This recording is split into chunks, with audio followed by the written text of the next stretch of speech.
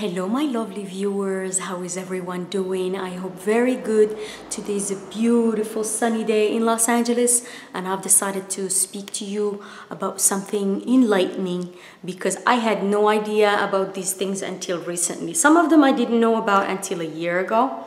And uh, thanks to my channel, I have wonderful viewers like you that share fabulous information. Thank you. And please do not hesitate writing me comments, negative, positive, it doesn't matter. I welcome all because I see an opportunity of learning in every single comment. Even if it's not very positive, it's fine. I am, a, you know, I, am a learning uh, machine. So I learn from everything that comes uh, my way. Please share more with me, comment, uh, let's open conversations and discussions about everything, all the videos that I make. So these sources of carbs and sugars I didn't know about. And I knew maybe in the back of my head, some of them were like, oh, okay, they have sugar, but I didn't know that if you ingest a lot, a big quantity, it could literally um, prohibit you from going into ketosis, okay? If you're trying to get into ketosis and you're at the beginning of your journey. These are important so you can pay special attention. Some of them are not labeled. It's very strange. Uh, for example, number two is not labeled. I'll tell you first. So first thing first, lemon. I uh, used to squeeze half a lemon uh, or almost a whole lemon in water and I'll drink it. One ounce of lemon has three carbs. That's sugar. Carbs are sugar. So be aware of it. If you are squeezing lemon the whole day, if you squeeze three lemons in between your fish and your morning, actually the morning uh, drink is the most severe one. Why? Because it will trigger your sugar cravings. Because if you have been fasting for eight hours sleeping and then all of a sudden you wake up and you have a lemon with water, especially if you make the water hot. What it what it does it pushes the sugar through your veins much faster. Lukewarm water with lemon. What i do is when i wake up in the morning i put a little bit a quarter teaspoon of uh, salt good salt and then i put a quarter teaspoon of um, baking soda in the morning instead of uh, the lemon. Lemon is sugar, remember that, it's a fruit, okay? So that's number one source that I thought I should let you know about because I know most of us have heard that you know lemon and water is excellent in the morning. If you're on the ketogenic diet or you're on a high carb, um, high fat, low carb diet, be careful with that. Okay, doesn't mean you have to cut it out. Just be careful and be aware of it.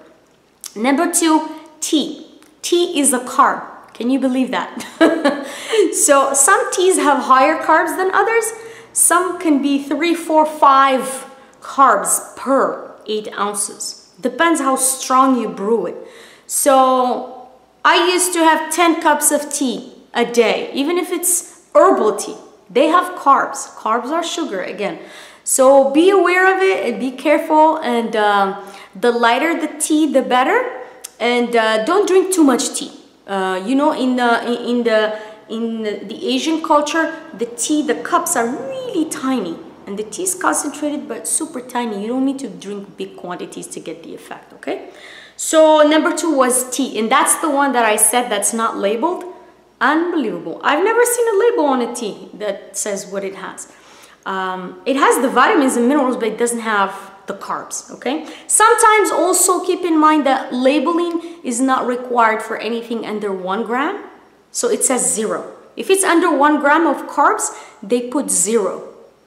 Uh, and then if the measurement is one teaspoon or uh, one tablespoon, Imagine how many carbs it is for a cup. If one, one, one tablespoon has one carb or less than one carb, multiply that by the amount of tablespoons in one cup. And that's the amount of carbs. Very high carbs it can become. Even one, zero carbs can be a lot of carbs. Okay, so that's number two. Number three, half and half. If you're having coffee, tea, chai, decaf in the morning and you're putting half and half, switch that to um, um, heavy whipping cream. Heavy whipping cream has zero carbs and might have carbs because like I said, sometimes they're not they're not obliged to la label it, the label the carb when it's under one gram. So be aware of it. Use use very little, and I highly suggest you use butter if you're gonna have any sort of drink, blend it with butter. You know, butter will turn the whole drink white if you're not if you don't want to drink a, a dark uh, drink, like a decaf or something or coffee, blend it with the with butter. Butter is much better for you.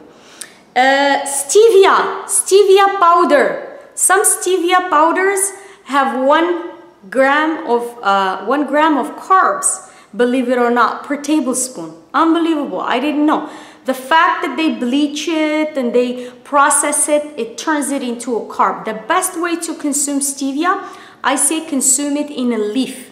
Get a dried leaf. You can buy them from Amazon. Uh, I'm still building my page on my website for the products that I recommend uh, using. Uh, but uh, use the leaf, put it in, and then uh, uh, get it, get the leaf out by by using a what do you call it? A filter or something like that. Okay. So that's number five.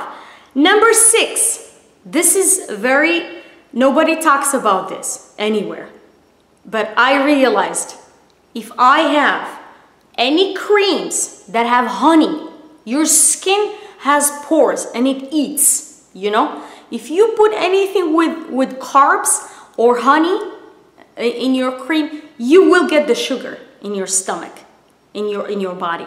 So skin is a form of, uh, it's, it's, it's, it's an organ and it digests food that you put on top of it. Little babies, you know, toddlers, when they start eating, like 30% of their food, they, consume it through their neck and their mouth and, and their hands, and the pores. So keep in mind that's a way of ingesting uh, also foods. Oh, uh, uh, if you put honey products that are have honey or have carbs on your skin, you will ingest those carbs.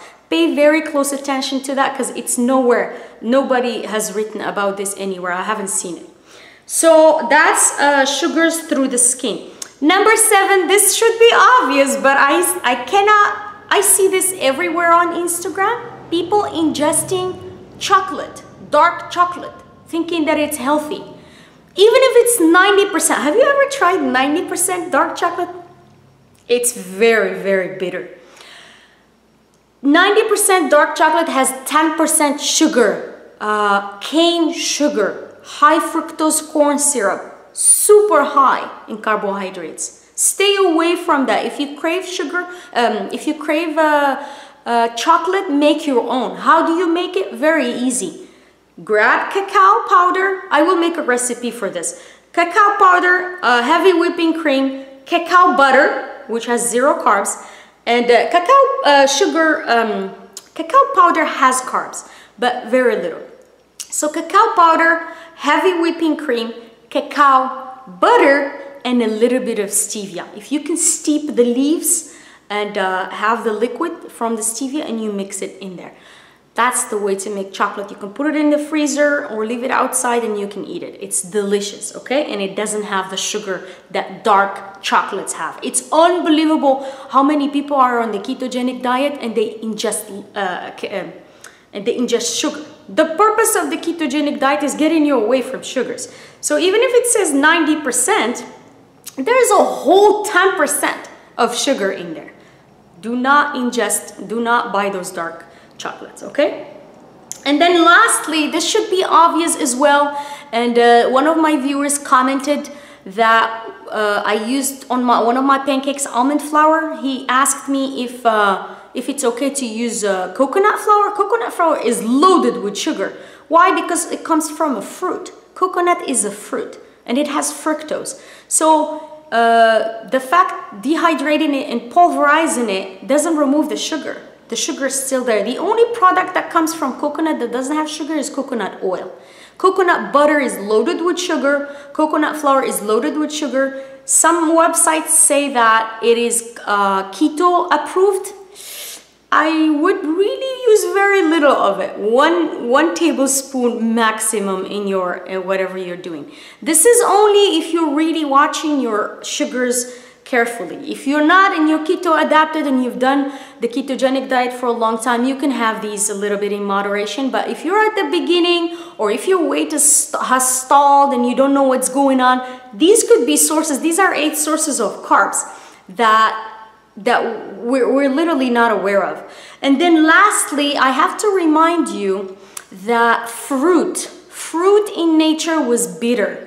it was never sweet and it was never gigantic and it was never the same size. If you go to a store today, you will notice that all apples look the same. They're the same size, the same weight, the same shininess. It was never like that. Fruit has been hybridized for probably thousands of years uh, when agriculture started. So it's very hard to get your, I think it's almost impossible to get your hands on wild fruit. Wild fruit the non-hybridized type are like trees that have never been uh, touched by humans. They're very, the fruit is very tiny. Apples are like this size. Strawberries are the size of my uh, uh, finger, fingernail. And uh, very tiny and bitter and tart. That's real fruit. Uh, the seeds are huge, gigantic, usually. Why? Because the trees uh, try to procreate and to ensure procreation, the seed is very big and it's bitter so that animals don't eat it, right?